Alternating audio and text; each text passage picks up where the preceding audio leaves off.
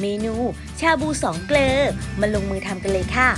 วิธีทำน้ำซุป ใส่น้ำลงในหม้อราหัวมะลาย ต้มน้ำจนเดือด ใส่โครงไก่ลวก หอมหัวใหญ่ ข้าวโพดหวาน หัวไชเท้า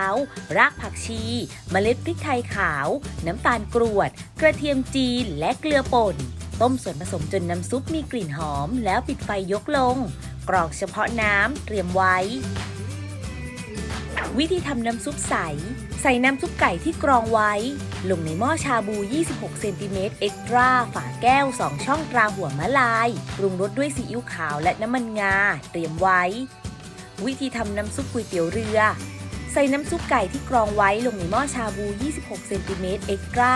ฝาแก้ว 2 ช่องตราหัวมะลาย ปรุงรสด้วยผงทำน้ำซุปก๋วยเตี๋ยวเรือน้ำมันกระเทียมเจียว กะทิสำเร็จรูป และพริกขี้หนูเขียว เตรียมไว้ นำหม้อชาบูขนาด 26 เซนติเมตรเอ็กตร้าฝาแก้ว 2 ช่องตราหัวมะลาย ที่ใส่น้ำซุปทั้ง 2 ชนิดเตรียมไว้แล้ว นำขึ้นตั้งไฟ ใช้ไฟปานกลาง ต้มจนน้ำซุปเดือด แล้วจุ่มเนื้อสัตว์ และผักที่เตรียมไว้ตามชอบ รับประทานพร้อมกับน้ำจิ้มตามต้องการ หม้อชาบู 26 เซนติเมตรเอ็กตร้าฝาแก้ว 2 ช่องตราหัวมะลายผลิตจากสแตนเลสสตีล คุณภาพฟู้ดเกรด มั่นใจ ปลอดภัย ไร้สารปนเปื้อน ส่น้ำซุปได้ 2 รสชาติในหม้อเดียว ฝาแก้วโปร่งใส ผลิตจากกระจกนิรภัย มองเห็นอาหารภายในหม้อ